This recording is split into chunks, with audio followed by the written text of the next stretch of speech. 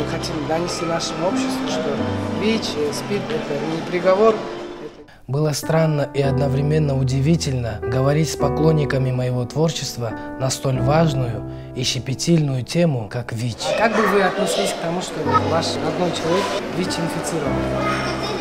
Хотела бы помочь, я бы не отверглась. Я попробовал поставить себя на место тех, кто живет с этим недугом, и сказать, что я ВИЧ-инфицирован, зная, что это не так. Вот я ВИЧ-инфицирован. Мне стало не по себе, возник какой-то внутренний дискомфорт. Однако, беседуя со своими слушателями, я почувствовал неимоверную поддержку с их стороны. У вас хороший голос. Спасибо, спасибо. После которой действительно становилось лучше и проще. Мы обязаны быть добрее.